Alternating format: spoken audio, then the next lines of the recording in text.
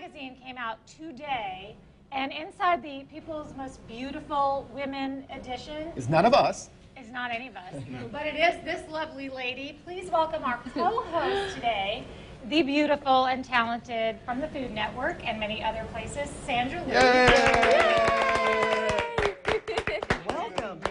Welcome. Good hair Hi. day. Oh, yes, I'm that's Elizabeth. Hi, beautiful. And you're just as beautiful in person as she is in that magazine. So gorgeous. Prettier. Oh, I think so. Fist pump. Oh, yeah. Guess what? This is the first time Sandra is seeing this. I, I, I walked in the studio and they said, "Have you seen this magazine yet?" And I said, "No, I hadn't." And I opened it up and I couldn't. I just opened it up and I immediately started commenting. I didn't even, and I go, "What am I doing? Where am I?" And I sat down next to Sandra and I said, I'm going sit here and listen to you comment on that magazine because, you you know, and, and it's nice how you're so supportive. Women are so supportive of each other these mm-hmm. days. You know, you can look at a magazine and say how beautiful somebody is. And You I don't, should. you know, and that's that's so important, I think. yeah, I You love know, Jennifer just- and her legs are fabulous. She looks great in it. Now let me ask you this. So when She you make it it. to People magazine, you know, as one of the most beautiful people in the world, do you like lay this out on your coffee table? or do you like kind of like have like a little strategy where it's kind of Do you have covered it but framed not? all over you your need to house? and open to her page. No, No. not really. Not really. No. oh, you know what? If I lay this out, I have birds, uh, cockatoos. They're, you know, the the umbrella, beautiful white Yeah. cockatoos. I have them, and if I laid this out, it would Oh, just there's be one. shredded. Yeah, that's Phoenix right wow. there. Oh, wow. That's my baby. He is Oh so my sweet. goodness. And He's your other like baby. a dog. He's like a little dog, and my other baby. Oh. and my other boyfriend. I'm going to ask you about that in just a minute, but as, as long as we're on the subject, just very briefly on the subject of women and supporting women, how are you feeling these days? And I know that um, you are a breast cancer survivor, and, and we're not going to spend a lot of time on that, but we just want to say you look wonderful. yeah, because I've spent the last year on it. Right. So. So we're done. Um, we're going to move on. We're going to move on. But, uh, you know, it's an incredible sisterhood that I didn't know that I was ever going to need, and you don't know that you're going to need it. So, unfortunately, I'm supposed to be staying for the whole show, but I heard two days ago about a woman who had the exact same diagnosis in the exact same way as I did. So, I'm going to be leaving you a little early because I'm going to have lunch with her. Oh, With our warmest wishes, so absolutely, of course. You have to, like, you have to be supportive of everybody. Absolutely. That's wonderful. And that's the time you need to do it. So, And speaking of support, a good man never hurts.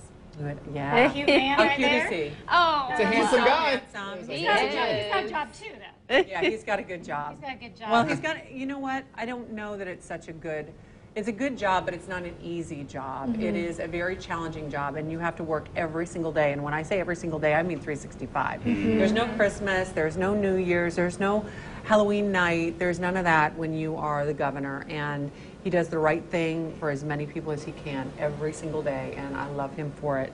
And that's, of course, Andrew Cuomo, governor of New York, in case you didn't recognize the picture. The handsome man in the picture. So you, you It's hard when your man is prettier than you are. I, I don't know about that. You haven't seen him live and in person.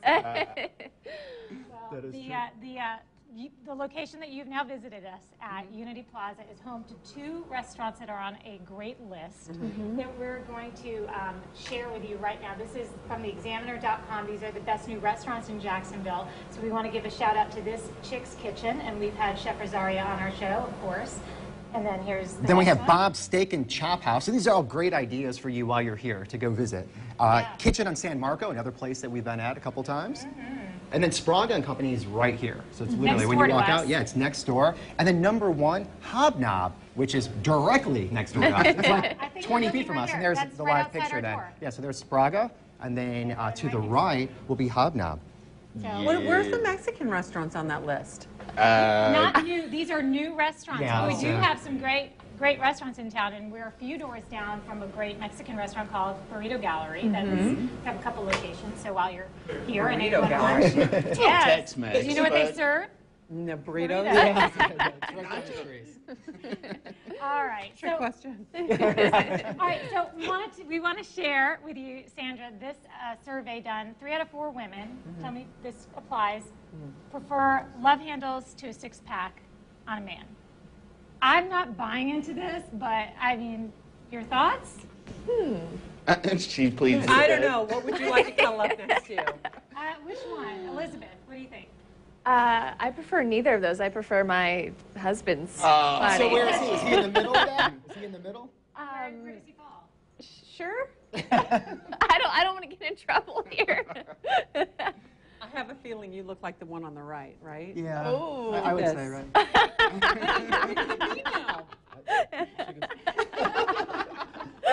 Oh my goodness. I'm speechless. Hey, Now, guys, I want to hear your opinion on this. Can you? I like is the this guy surprising to abs. you? Great. Not what There's you hope for me. want. I don't have to worry about. I mean, I've been working on a pony cake for a while, so I don't have to worry about getting down to a But- sixer. But you know what's interesting though? I think that with my wife, if I start getting like too skinny, she doesn't like that at all. No. You know, so she likes, I guess, like to have like a build, and mm. sometimes like that happens, and I, I could kind of see that. Mm. You know, so so what's what's your man? What's Andrew like? Perfect. Aw. Good answer. right. But then it says, I mean, so it says when it comes to real life, we don't want a chiseled perfection in our bed. That's what some women say. Is that true? Where are you at? That was a long gasp. Let me tell you who did this survey. Who did do this survey? Uh, the, uh, this is what's, this is the great part. This was a survey that was commissioned by the movie The Neighbors, the DVD release of that, you know, the, the one with Zac Efron and, Right. yeah. So Seth they commissioned Rogen. this study to draw attention to that, but I just thought it was an interesting study and just worth asking other ladies, so. Yeah. All right, so Well, moving when on. you're 24, Yeah. that's really lovely. Uh-huh. But as you mature in your life and you just want some comfort and somebody sweet, I think that that's, you know, everybody gets to, to mature That's true. the way God intended. Yeah, I got more than enough comfort for all. of you. Is comfort food, right? Yes, That's what you yes, are. You like, I you like like, the the hug. comfort. So real quick, we were talking about this study. Let's go to something a little bit more highbrow, right? Let's talk about the new words that are in the dictionary, and they're, they're kind of funny. So let's start out with FOMO. Do you guys know what FOMO is? I do know what that FOMO? is. That's uh, I think I may have missing it. Out. fear of missing out. Yeah, so that's a, a new word that made the list. Oh. You and I were both going the other way. I was like, Oh my I can't gosh, say now You that. guys are still on the last topic, I think. The next one is athleisure. Athleisure. Again, a new word in the dictionary. Athleisure. Um, it, does it, does it You mean what it sounds Work like? out and relax simultaneously. It's very close. It's uh, when you wear clothing that's designed for both. So my example would be probably yoga pants because people they'll rock yeah. those like out to eat and then also do that. Gotcha, gotcha. Uh, makes note sense. to self: buy Lululemon stock today. Oh, Oh, yeah. Ah, Interesting. Good yes. tie-in. Exactly. Uh, another one, nomophobia. Nomophobia. Nomophobia? No more phobia. That would make sense. Yes. Yes. It's um, the I'm fear. It's I'm the fear you. of not having your cell phone by you. Huh. Yeah. How- where Where did they come up with that? Yeah. No, I don't get No I just read the cards. I don't know. I just read the cards. Uh, here's another one. This is a popular one. I C Y M I, and I that's got it. in case you In missed case it. you missed yeah. it. Yep. So there you go. So just a couple of them that are really found like in the, the texting language that went up, you know, into the dictionary. You know, I have to tell you something. If you trademark a word, they won't put it in the dictionary.